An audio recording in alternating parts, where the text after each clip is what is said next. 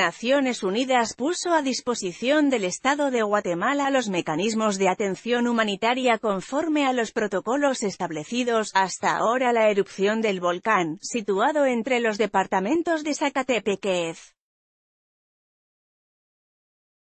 Escuintla y Chimaltenango, deja 25 fallecidos y más de 1,7 millones de afectados, de acuerdo con los datos oficiales preliminares de la Coordinadora Nacional para la Reducción de Desastres, con red.